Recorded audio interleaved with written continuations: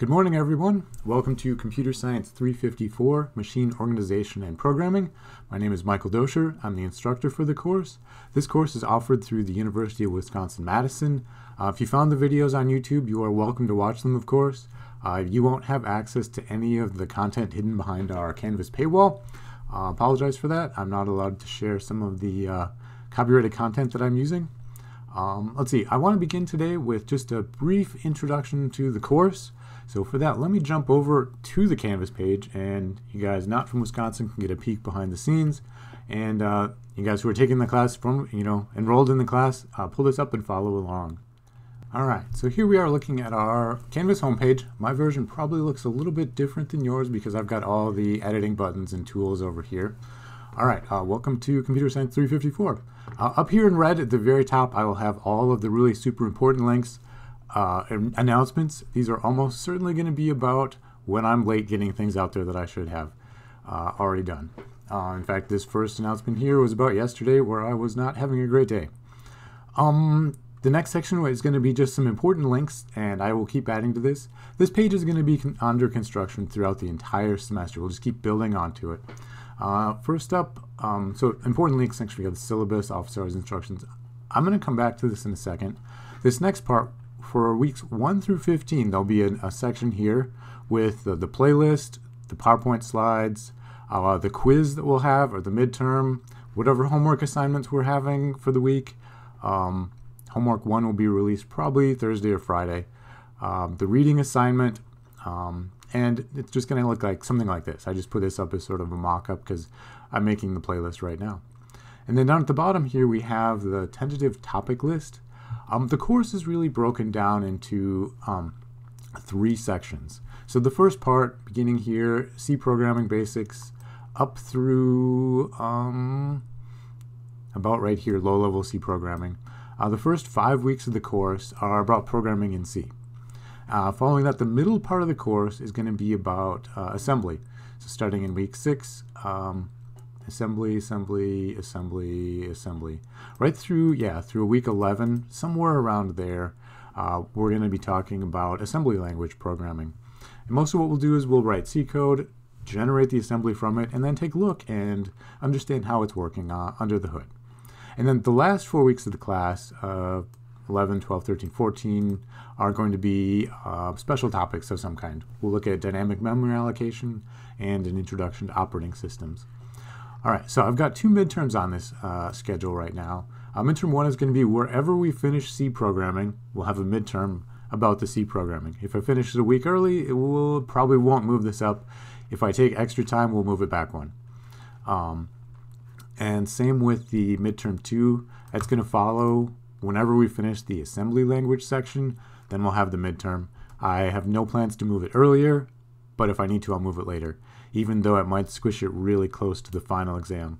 So midterm one is uh, going to cover C programming. Midterm two, because we're generating all of our assembly from C, it builds on the first section. Um, and then the final exam covers absolutely everything. So it does build up as we go through the entire course. Okay, next up, I want to take a look at the syllabus.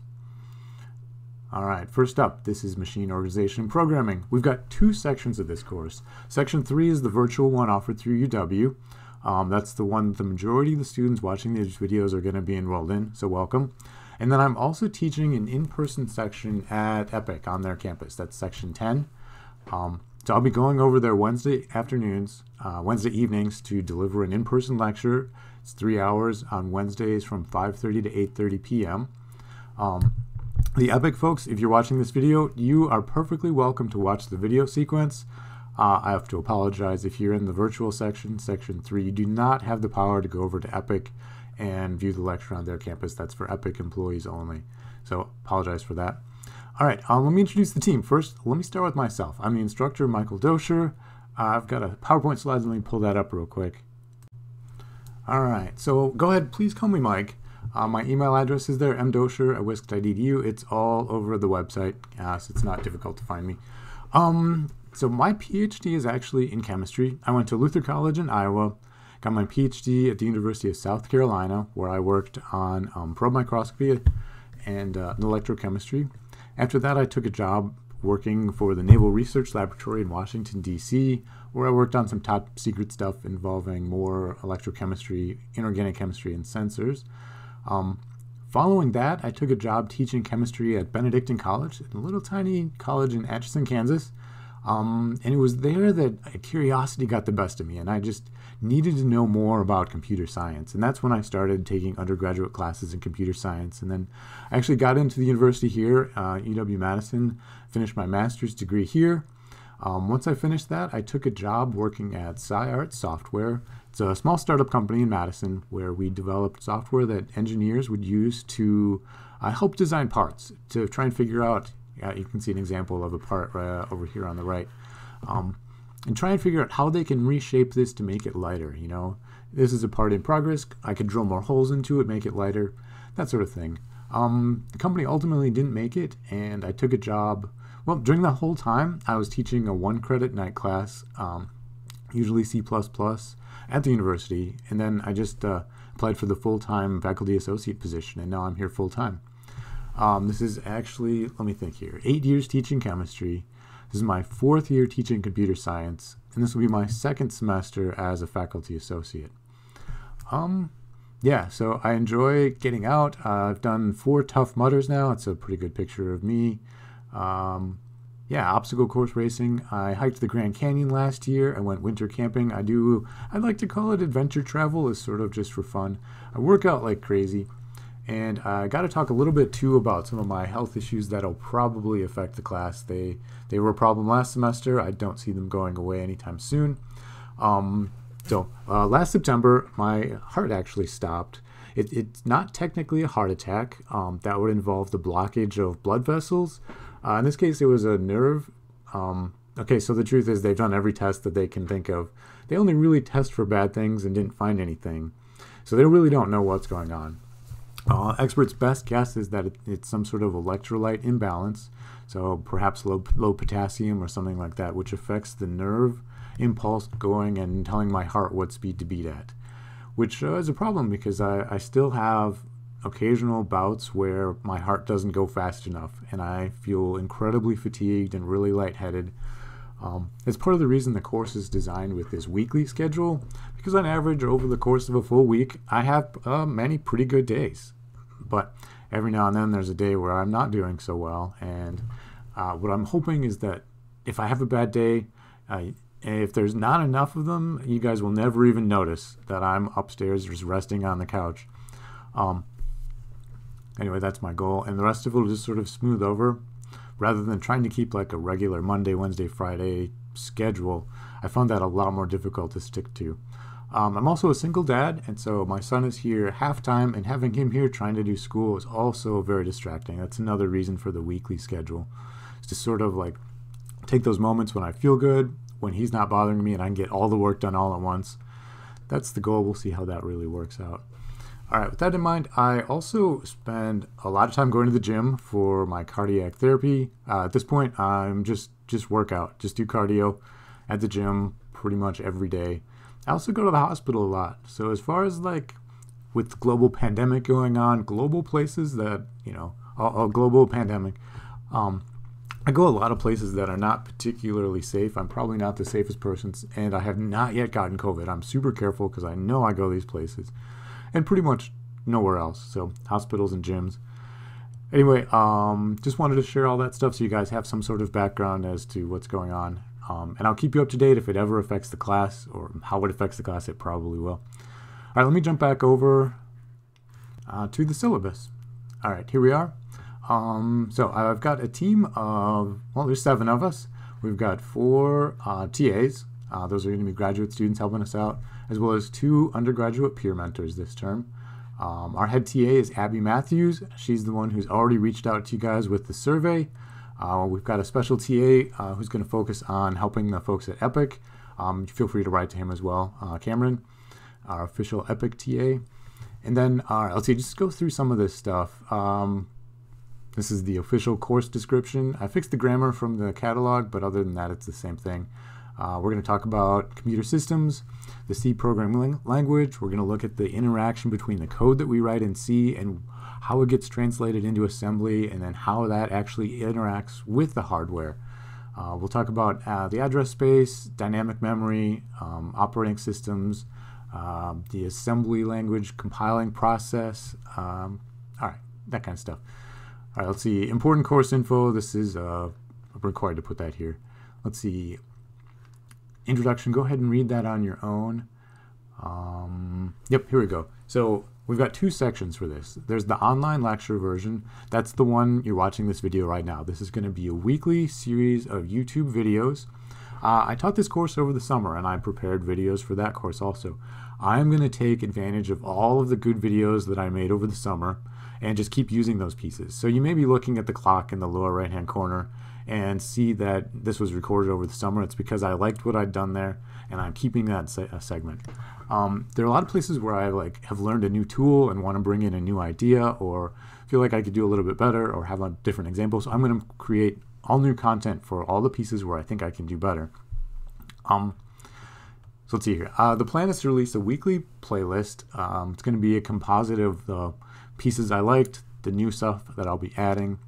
Uh, it turns out, uh, to be honest, let's face it, video lectures are probably one of the worst ways to learn computer science. There's no interaction. If you just sit there and watch the video, you're not going to get a lot out of it, especially if you're in a room with distractions. You know, if you're like, kids are playing um, Xbox or something, or your roommate's playing Xbox, or uh, your sister's playing Dance Dance Revolution or practicing violin while you're trying to watch, especially if you've got this on a mobile device and you're trying to like follow along with a laptop, it's hard to do. I'm going to do my best to make everything as big as possible. I'll actually look at that. I can do better. There we go, big as possible. Um, so you guys can still read it. Um, and I'm also going to do my best to make these videos obviously not the one about the syllabus, but the rest of them as interactive as possible. So you guys can pause the video, try an activity. That's the best way to learn is actually do it yourself. Um, particularly with computer science, you've got to type these things in, you've got to try them, you've got to make the mistakes, see what the error message says. Um, so that's the idea. I'm going to make these as interactive as possible, and I'm going to take advantage of the like all the things that YouTube lets us do. Uh, for example, you could pause the video, you can walk away, you're not going to miss anything. Uh, you can uh, break this into pieces. Um, you can you know, pause the video and try something out. If you need to hear something again, you can rewind and replay that section. Um, and if you're just studying for the you know midterm or something, you can play the video at you know 2x speed and just cruise through it and just like remind yourself. And if there's a piece that you missed, you could slow it down and listen to that again. So YouTube offers a lot of features for us that I'm going to try and take advantage of. Things you don't get in a real in-person lecture. The downside is it's really difficult to ask questions, so we're providing a number of avenues for communication. Let me see here. Um, all right. So the video lectures, they're likely, you know, if this is a three credit class, normally you would meet Tuesday, Thursday for 75 minutes. The videos are likely not going to match up to that 150 minutes per week. Um, taking into account the fact that I expect you guys to pause the video and um, do something, that's going to make it a little bit shorter.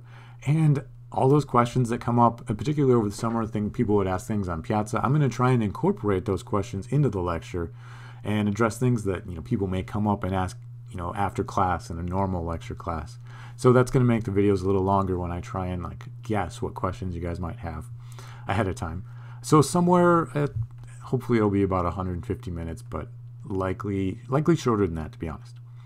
Um, and the weeks that do go longer, uh, the goal for a three credit class is that you spend, um, well, the university wants one hour of substantive interaction and two hours outside of class. So you can just think of the video as, you know, part of those two hours of outside of class if it runs long. All right, uh, again, um, for the EPIC section, if you're watching this, uh, the plan is to deliver a live in-person lecture on the EPIC campus. We'll be live streaming the lecture for the EPIC students, so if you're on campus trying to watch this in your office, uh, I sent an email this evening about how to connect to that, and I'm working with the uh, uh, AV team over at Epic to figure out how that works. And I don't, they have a plan, and I haven't been told it yet. So we'll see what happens. All right. Um, next up, uh, quick commercial break. We'll be right back. All right. Today's lecture is brought to you by Computer Systems: A Programmer's Perspective. I will be using the second edition for the class. Um, it's completely possible to get away with a third edition if you guys want. Um, The uh, I don't actually own a third edition. My understanding is that the major difference is that they've added a lot of material for 64-bit um, computers. So they go into all the different names of the extra registers and the extra commands that you will need to choose uh, the 64-bit registers instead of the 32-bit ones. In my opinion, it doesn't actually add that much extra to the class to have that extra complexity. Uh, they work the same way, and so and as far as like the like super advanced details, we're not going to get into those anyway. All right, but please be aware that as you are um, making your selection, uh, the page numbers may not exactly match up to what I'm doing. Uh, with the uh, I'm gonna I'm gonna be referring to the second edition, and it'll save you guys about 120 bucks if you go with the second edition instead. All right, you will also need. Let me see. The uh, C programming language. This is a book that actually is written by the inventors of the C language itself. Uh, this is the second edition. It's a classic. Uh, every programmer should have this on their shelf. And again, um, there are actually a bunch of free places you can get this book. I've got the link to Amazon right here. Uh, if you look around on the internet, you can uh, just do a quick search. You'll find multiple places where you can download it for free. All right, in order to provide you guys with the opportunity for substantial communication and interaction, like uh, you get in a real class and not just watching videos, I've got a bunch of different ways that we'll be using to communicate for the course content. Um, first, Canvas is going to be our clearinghouse is where everything will be linked from. It's the most important. The most important page is the home page where all the announcements and the schedule will be. All right, next up, Piazza is an online forum you guys can use to ask questions. If you're new to the University of Wisconsin, uh, just go ahead and click the link. It'll bring you over there. Uh, if not, I'm sure you've used it in another class. Um, couple notes. Uh, first, please do not post code that you've written for homework that's more than five lines long. Uh, this is considered cheating. Um, and then uh, lots of students are going to ask questions here, so it's a great place to go and see what questions they have. Uh, we enc strongly encourage you guys to answer each other's questions. Um, I've got one post, it looks like this. Please be aware that a couple things. First, before posting, uh, make sure you do a search and see if there's any um, similar questions where you may have already had your question answered. Uh, this is known as Piazza bloat when we have many, many questions on the same topic, and it makes it makes it hard to search for things that are actually useful. Uh, so when posting, please make your posts very clear.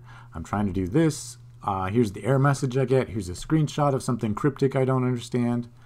Um, and then uh, as you guys just go through, um, we're gonna we're probably not going to respond immediately. The team um, of TAs and peer mentors and myself, we're going to give you guys a chance to try and answer each other's questions. There's really a lot of value in trying to explain something to a classmate. Um, and then just, uh, I got to highlight this. Uh, before you respond to a question, it is it is incredibly fun to spot a duplicate question, and then sort of like a little passive aggressive way to like say, hey, you guys didn't search do better job searching, you can use the at link to reference that post. So up here you can see in my uh, URL bar, this is CID equal 5. I can just reference this as at 6. Oops, that's a 6, not a 5. What am I thinking? Yep. Um, to uh, indicate a duplicate post. All right, again, um, please don't post any code publicly. All right, all right, back to good stuff. Uh, office hours and lab hours. We've got a special tab. I'll be coming back to that in a minute with the instructions and schedule. Uh, also, we'll be holding. Um, I'm going to be holding a, an optional live Q&A session on Fridays. We'll start at 8:30. I'll hang out till at least nine. If there's nobody there, and in the past, um, especially in like the first week of class, it's been pretty uh, empty. Um, but if anybody has any questions, you just want to like get to know me a little better, come and hang out. I'll be there uh, Friday morning. Um, and if you want to just talk to the other students, uh, there's no there's no scheduled content. I'm not going to introduce anything new. This is just a way to provide interaction um, between me and uh, all of you guys. That's not just me sitting in my office in the dimness. Sun hasn't come up yet. Um, it's actually cold down here by myself, so uh, it's probably good for me to you know get out and meet you guys too. All right, uh, let's see here. Email. Um, I've got the groups. Uh, University of Wisconsin sets these up for me. So you'll be getting announcements from me from uh, G groups at wisc.edu for either section 3 or section 10. Um, and again, all the announcements are going to be posted on Canvas, so you can just check that. The email will mostly be I've put a new announcement up, there's new material ready, or something about it being delayed because of my health. One of the two are most likely going to happen. Um, let's see. Also, if you have a question that's not appropriate for Piazza, uh, something that's personal, you can uh, like email your TA or the instructor. Um, on the TA page, I've got a who should I contact, and uh, if all you need is an extension or something like that, you can send that to a TA. We'll get you on the list. If it's something that requires my direct attention, absolutely send me an email. All right, let me see here. Next up, so office hours. So we have office hours and lab hours. Office hours are basically you'll schedule a one-on-one appointment. Uh, I'll show you the system in just a second, but uh, you'll send us a meeting link, and then um, we'll go. We will join your meeting link. So choose something where you know how to share your screen. This is a great place to work on debugging your code or looking for issues, or if you have questions about the course content. Um, we're also going to be providing lab hours. These are a little different. We'll hold them over on um, Canvas's Blackboard Collaborate Ultra, which uh, can't see from the screen. I'll, I'll show you in a second where it is. It's on the left-hand tab. Maybe I'm just scrolled out too far. Yep, um, Blackboard Collaborate Ultra right there up at the top.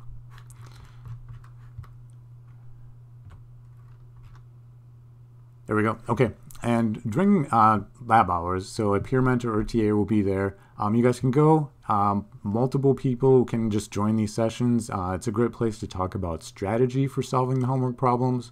Um, you, you can use it a lot like office hours. Probably we won't see more than a few students at a time. However, um, you will not have the power to share your screen during these sessions. Um, if you wanted to like talk strategy with other students, the, you know, there may be other students present also. So this is just another way for us to provide sort of a live interaction experience uh, for the students. All right, next up, um, grading. How do I pass the class? This is probably the reason you've been fast forwarding through the video right up until now. Here's the idea. We're going to do homework um, in the form of projects. These are going to be, well, let me just go over this. Uh, we'll have a, so we'll do projects, uh, multiple homework assignments throughout the semester that gives you the opportunity to practice. Uh, there's going to be uh, either a quiz or a midterm every week beginning next week. And the first week we have our survey. So there's something every week in the like category of quizzes. Um, we'll drop some of the, I believe the two lowest quizzes. Is that what I said? Yep, two lowest quizzes. Um, and these are just going to be uh, questions about the previous week's content, just as a way to like help you guys stay on task to keep up it can be really easy to just see a weekly YouTube playlist and not focus, have it on the background, or say, oh, I'll watch it later, I'll do it later, not get started. Um, so this is just uh, for me, and it's a chance for you guys to just check and see. So I watched the videos, did I really get it? Um, that's the idea. It's supposed to be, um, mm, what's the word? Uh, not stressful, low stress. Just did I get it? I want to give you guys some points for doing it if you like take the time to go through my quiz. So that's why we're going to be awarding 10% of the grade for that. Let's see. Uh, then we've got two low stakes midterms, um, 10% each, and 20% uh, on that final. Let's see. Is that add up? Yep, looks good. All right. Um, I, I, need to comment here on the scores too. I have an extremely harsh grading curve set up. 95% uh, to get an A. It's probably one of the most rigorous in the university. And the reason for that is because on all of these projects, like 50% of the points right here, it's a coding assignment where I say, here's what I want you to do. Here's a test that will tell you when it works. So you will know when you've got 100% on all of these projects. And if you don't have 100% yet, you should keep working because some of the tests will fail or it won't give you the answer that's expected. So to be honest, these projects, you can take them to office hours, you can get help, you can get more help, you can get help after that, you can read on Piazza. They're not a great way to assess whether you've learned the material or not um, because almost everybody gets a perfect on almost every project if you like spent the time to you know to go through it. Uh, they are like grading is results based. If you like turn something in and it doesn't work, you're obviously not going to get the points. But um, it's so it's not a good way to assess whether you've like learned the material or not, to be honest. But it's a great way to get practice. So it's very important for the like practice aspect of things. Um, these projects, uh, 50% of your grade, um, they do take a long time. They, they are a bunch of work. The idea is you will get practice. So don't procrastinate. Start right away. Get to work. Um, yeah, the late policy. Uh, yeah, and this only applies to projects. That's the only thing we'll be worried about turning in late. Uh, given the global pandemic, um, we're not going to penalize late projects this semester. What I saw last semester was that, um, you know, there were so many students who, you know, not just needed an extension, but like needed two weeks. Something went horribly wrong in their life, and they struggled. You know, some someone in their family got COVID. They got COVID, uh, mental breakdowns, they, they had to take care of their little sister because school was canceled. Whatever it was, people needed more time. Um, here's what I want you guys to do. If you need an extension on a project, just send uh, the TA or myself an email. We'll get you on the list. I don't need to know why. Uh, what I do need to know is when you actually think you'll get it finished. And a heads up, we cannot accept projects after the last day of class. We also really don't have the resources to grade absolutely everything during the last week of class. So if this looks like it's about to be abused um, and we won't have those resources to grade things, uh, we will change this. But right now, this is what I'd like to do. Um, uh, turning your work in on time gets you a couple things. When we grade your work, we're going to review it and give you some comments, um, offer suggestions about how to become a better programmer. Um, and if something goes wrong and you would like to request a regrade, uh, it gives you that power too. So if you turn it in late, if it's the last week of class, we will just grade is what you get. We will not be accepting regrades. Um, couple of things that we will like automatically let you guys fix. Basically, uh, your code has to work. It's results based. If it doesn't compile, if it doesn't work for some reason, there are some things we'll, we'll go ahead and work with you. Um, we will not fix any issues. We will not grade code that looks almost correct but doesn't work. Well, instead, you have to fix it. But a couple of these configuration issues are number one, if you um, work on a Windows machine and then you submit it and we grade it on the Linux machine, the different system may have different issues and may not compile. So we will be grading all of the projects on the lab Linux machines. So please verify your code runs there before submitting it. And better yet, write your code on these machines. Videos coming soon about how to access the CSL machines and use the Vim editor, um, in case you've never used any of those before. Welcome to Wisconsin, if you haven't. All right, some some bugs uh, don't cause problems every time.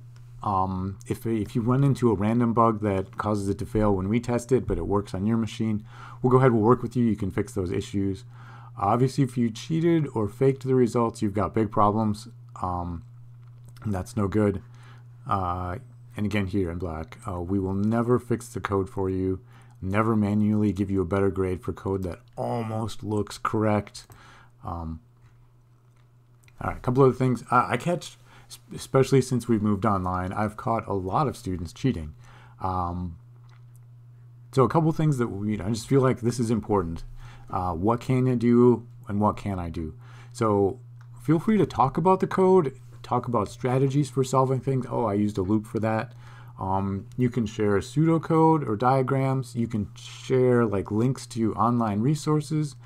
Uh, copying code from online resources that is not specific to your project. Uh, you just need to cite your code.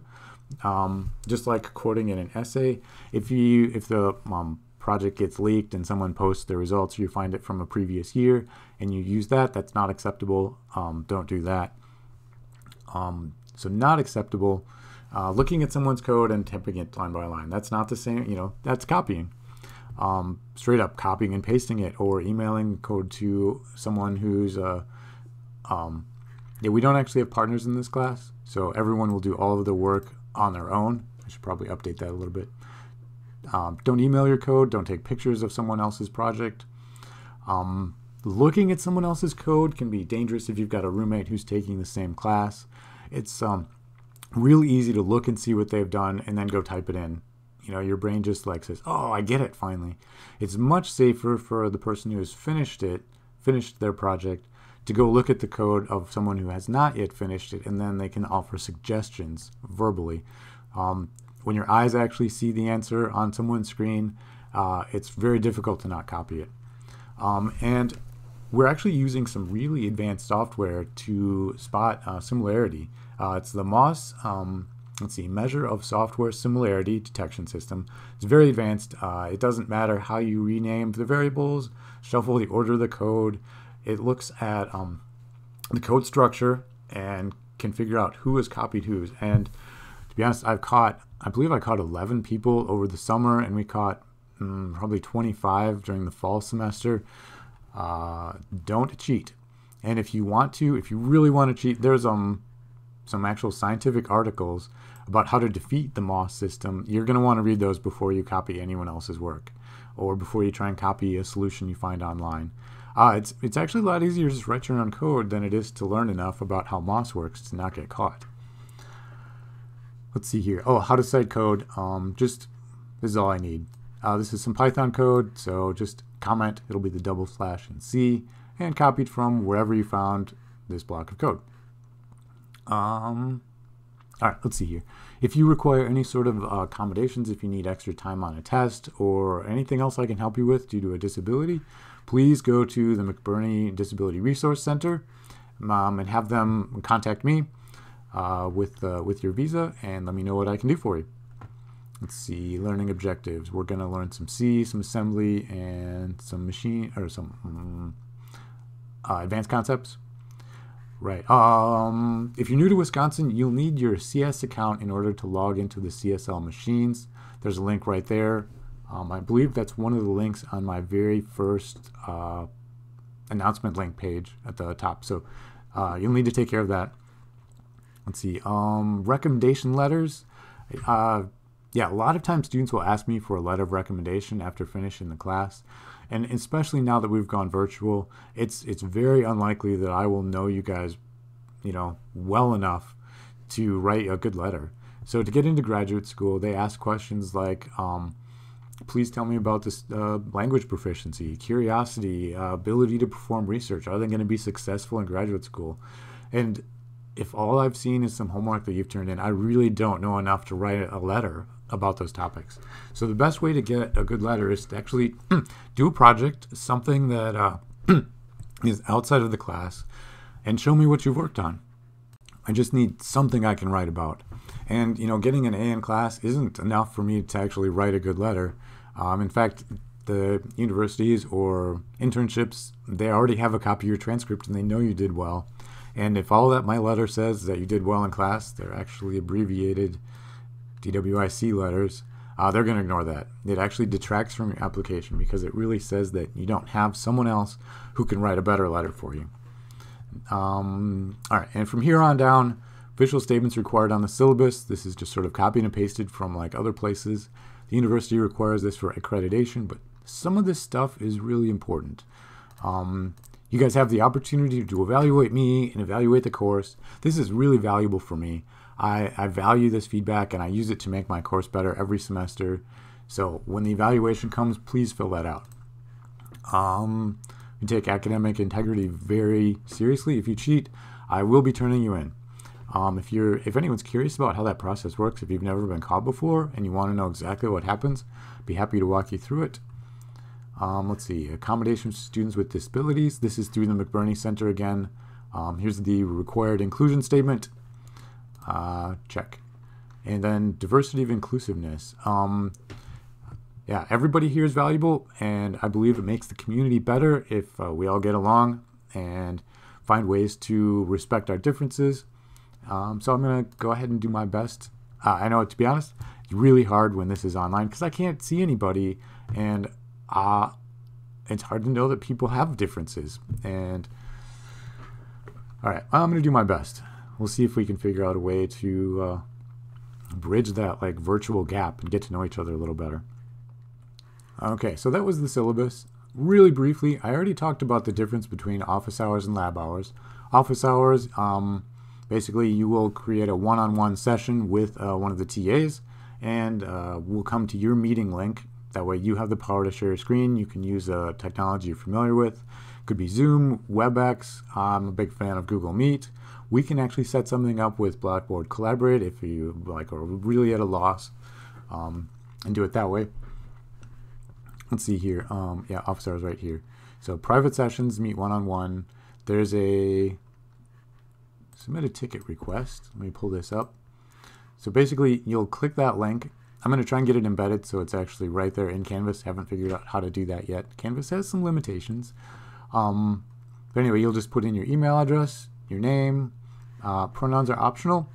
Uh, create a meeting link. So in this case, we recommend using Google Meet if you don't have a preference. If you're a huge fan of Zoom, send us a Zoom link. It doesn't matter. Just somewhere you can uh, share your screen with us. Um, CS login, what kind of question, either about a concept or debugging. We should probably have another option there. Uh, choose conceptual if it's not debugging, if it's anything else. Brief description of your question, and then after you do that, when you click submit, that's going to take you and create, that's going to uh, create a ticket up on the Trello management board. Here's what this looks like. Um, so when you first appear, your ticket will appear over here in the to-do list. This does take between one to two minutes for this ticket to arrive. It doesn't automatically update instantly.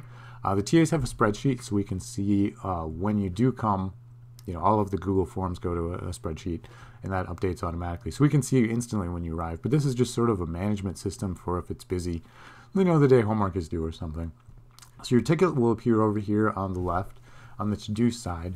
When one of the TAs arrives and uh, takes a look at your work, they'll move you to in progress, just like that. And then after your question is answered, we'll put you back in the done column. Um, if you, uh, if we attend, like if we put this meeting link in, let's see, where's the meeting link? Debugging. Yep. Okay. She's put in uh, Bucky Badger. If we go to the meeting link and you're not there, if we uh, fail to connect, we'll move you over to not present. In which case, you can send us an email and say, "Wait, something went wrong. Uh, here's a new link." Um, if you send in a ticket outside of when we have scheduled office hours, uh, no one's going to be there. Um, but what we'll do is we'll we'll see that you've sent something in. We'll send you an email and ask you, did you resolve your question? Um, remind you where the office hour schedule is, which is currently under construction. We can see that only my office hours are available right now. Uh, so Monday through Thursday, 8:30 to or 8:30 to 9:30, I'll be on duty, and then um, Friday is when I'm doing my live Q&A session from 8:30 to 9:30. So my week is gonna be busy in the mornings.